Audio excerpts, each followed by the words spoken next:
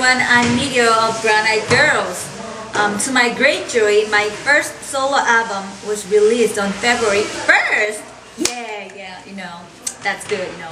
And this album has special meaning for me because this is my first solo album and I took part in producing this album. This album has five songs and great artists such as Narsha and Sunny of SNSD and the Cops, Woodpaper, Gary helped me with this album. You know, you guys will love it.